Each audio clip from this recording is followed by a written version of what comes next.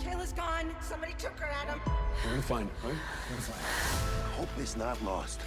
You gotta be in this moment right now. There is still time.